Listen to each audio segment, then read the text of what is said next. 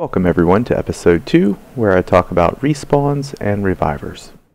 When you spawn into the game, you start in the respawner. Take a few minutes to hit F1 and view the controls. Probably haven't played a game like Worlds Adrift before with a grappling hook. Take time to get a feel for the controls and using the grappling hook. Depending on where you spawn, you might be rather high up, and you should at least be familiar with how to lower and raise your character up and down to safely get out of the respawner.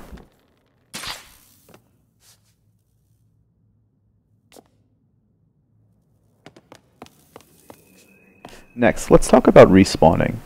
You get the option when you die or when you hit the escape key. You can click on respawn and you are presented with several options. The first option is personal reviver.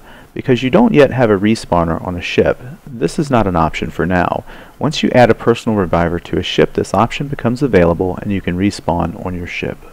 The second option is nearby revival chamber. Use this to respawn at a random revival chamber on the same island you've just spawned at. This will always respawn you to the closest nearby island revival chamber, even if you are on a ship when choosing this option. The third option is the random revival chamber. This will spawn you anywhere within the zone randomly. You start with two uses and earn one for each 24 hours that passes out of game.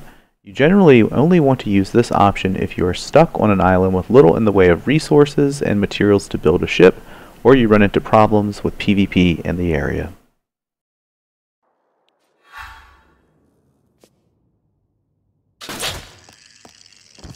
Next, if you have a ship that you need to bind to, you must first enter the shipyard code if the ship is docked.